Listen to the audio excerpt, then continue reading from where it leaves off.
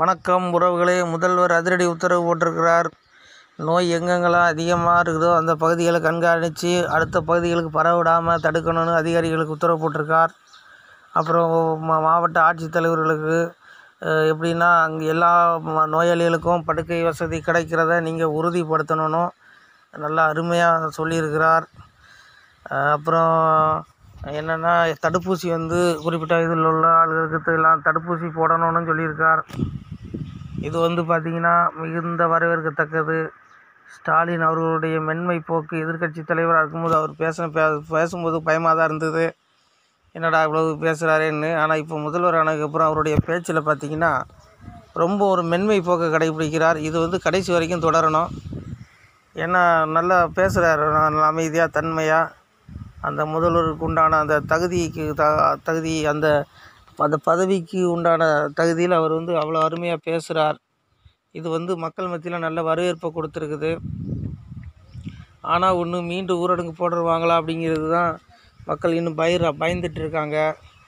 அது மட்டும் இல்லாமல் நிறையா பேர் வாடகை வீட்டில் இருக்காங்க.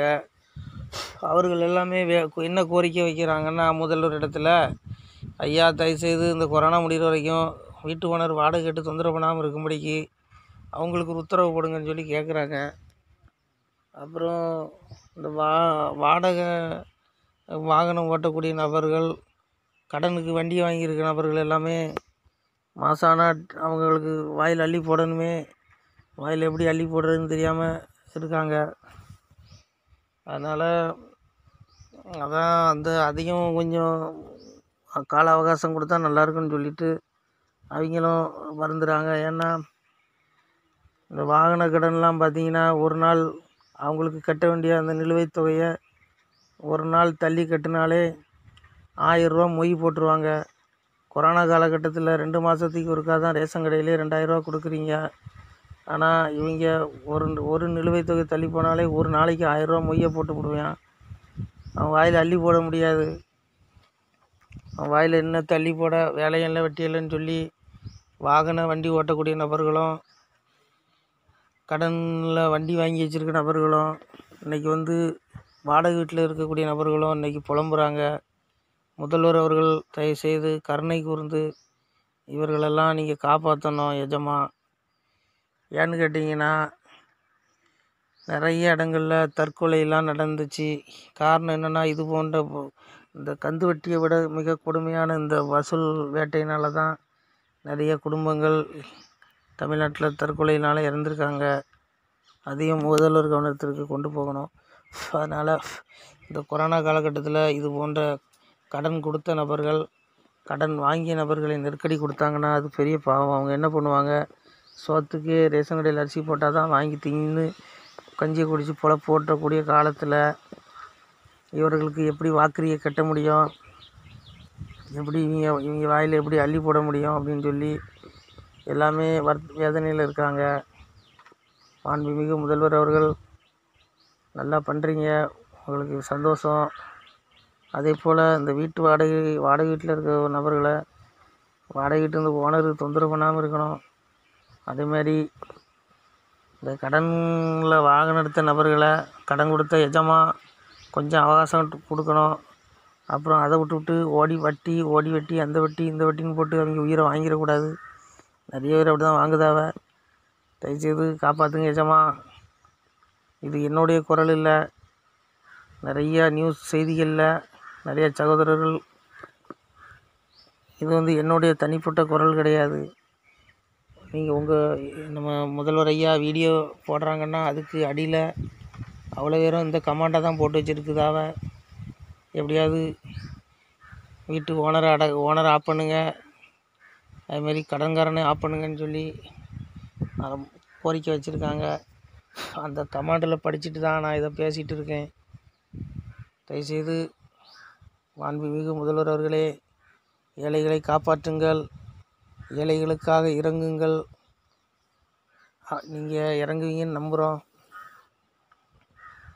தயவுசெய்து மக்கள் பாவம் எல்லாம் நோய் காலத்தில் கடந்து ரொம்ப வேதனைப்படுதாவ?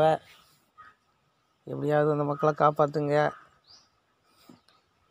கொரோனா காலகட்டத்தில் ரெண்டாயிரரூவா பத்தாது. முடிஞ்சால் நிறைய பேருக்கெல்லாம் ஐம்பதாயிரம் அறுபதாயிரம் சம்பளம் கொடுக்குறியேன்னு சொல்லுதாவ? அவங்களுக்கெல்லாம் கொஞ்சம் குறைச்சிட்டு அவங்களுக்கு குறைச்சிட்டு அந்த பணத்தை கூட இந்த ஏழைப்பாளிகளுக்கு ஒரு மாதம் ஐயாயிரம் கொடுத்தீங்கன்னா அதுவோ பாவம் ஏதோ கொஞ்சம் சந்தோஷமாவது கஞ்சி கிஞ்சி குடிச்சிட்டு வீட்டில் கிடக்கும். அதனால் கொஞ்சம் காப்பாற்றுங்க எஜமா. தப்பாக நினச்சிக்கிடாதீங்க. இது மக்களோட உள்ளத்தின் குமுறல். இது வந்து நிறைய வீடியோக்கள்லாம் பாருங்கள் ஊரடங்கு மறுபடியும் போடுவாங்களோ அப்படிங்கிற அப்படின்னு நீங்கள் போட்டிருக்க ஊரடங்கு மறுபடியும் வருமா அப்படிங்கிற செய்தியில் வர்ற அந்த வீடியோக்கள்லாம் அடியில் பார்த்தீங்கன்னா இது போன்ற கருத்துக்கள் பதிவிட்டிருக்கிறாங்க சகோதரர்கள். அவர்களின் சார்பாக இந்த வீடியோ இது வந்து உள் இது வந்து யார் மனசையும் காயப்படுத்துறதுக்காக அல்ல. சா தயவுசெய்து தவறாக புரிந்து கொள்ள வேண்டாம். ஒரு செய்யுள் உண்டு. ஏரி நீர் இருந்த போதங்கிருந்த பட்சியெல்லாம் மாறி நீர் மறித்த போது பறவையங்கிருப்பதுண்டோ பாரினை யாழும் எந்தன் பட்சமுருவத்தை மறந்தால் அவனவன் நிலையில்லாமல் ஏகுவார் என்ன? அதாவது ஒரு குளத்தில் நீர் இருக்கும் வரையில்தான் அந்த குளத்தில் இருக்கக்கூடிய மரங்களில் பறவைகளானது முட்டையிட்டு குஞ்சு பொரித்து அடை மன்னிக்கணும் முட்டையிட்டு அப்புறம் அடை காத்து குஞ்சு பொரித்து அது என்ன பண்ணும்? கடைசியில் அந்த குஞ்சுகளை பறக்காட்டும். பறக்க வச்சு அது கூட்டிகிட்டு போவோம். ஆனால் அதே குளத்தில் அந்த நீர் வற்றிடுச்சுன்னா அந்த குளத்தை நம்பி இருக்கக்கூடிய அந்த பறவைகள்லாம் என்ன பண்ணுமா? வேறு ஏதாவது குளத்தை நோக்கி பறந்து போயிருமா? வேறு வழி இல்லை. வாழ்வாதாரத்தை தேடி போயிருமா பறவைகள்? அதுபோலத்தான் ஒரு பாரினை ஆளக்கூடிய வேந்தன் பட்ஜெட்னு சொல்கிறான் அன்றைக்கி பட்ஜெட். அதாவது ஒரு நாட்டை அரசாளக்கூடிய மன்னன் ஆட்சியாளர்கள். இன்றைக்கி முதல்வர் தான் மன்னர். அப்படிங்கும்போது ஒரு நாட்டை ஆளக்கூடிய முதல்வர். அந்த பட்ஜெட் அப்படிங்கிற அந்த நிதிநிலையை ஏழை எளிய மக்கள் பயன்பெறும் வகையில் பயன்படுத்தி அந்த மக்களை நல்லபடியாக வாழ வைக்கணுமா? அப்படி வாழ வைத்தால் அந்த மக்கள் மனதார வாழ்த்துவார்கள் அந்த ஏழைபாடிகள் எல்லாம்? நல்ல மன்னர் அவர் நல்லா இருக்கணும்னு சொல்லிட்டு. அப்படி அவர்கள் வாழ்த்தும் பொழுது அந்த நாட்டில் வந்து அவர் ஆளக்கூடிய பகுதிகளில் மாதம் மும்மாரி மழை பெஞ்சி இறைவன் பெய்ய வைப்பாராம். மழை பெஞ்சி அந்த நாடு என்ன பண்ணுமா? செழிப்பாக இருக்குமா? ஆனால் அந்த நாட்டை ஆளக்கூடிய மன்னனானவன் இன்றைக்கு இருக்கும் ம- இந்த முதல்வராக இந்த முதல்வர்கள் தான் இன்றைக்கி மன்னர். இந்த முதல்வர்கள் அந்த நிதிநிலையை ஓரஞ்சாரம் பார்த்து நமக்கு ஓட்டு போடுறவங்களுக்காக பார்த்து அள்ளி கொடுத்துட்டோம்னா அந்த ஏழைப்பாளிகள்லாம் வயிற்றில் அடித்து அடித்து சாபம் விடுவாங்களாம். அவங்க விடுற கண்ணீர் போய் அந்த மன்னனை பிடிக்குமா? அந்த பாவம் அந்த நாட்டை ஆளக்கூடிய மன்னனை சும்மா விடாதான். இன்றைக்கு நிதிநிலை என்பது ஏழைகளுக்கு பகிர்ந்தளிக்கப்படுகிறதான்னு தெரியல. சில சகோதரர்கள் பதிவிடுறாங்க. ஒரு சில வேலை செய்யாத அரசு ஊழியர்களுக்கு மாதம் எழுபதாயிரம் எண்பதாயிரம் கொடுக்குறாங்க.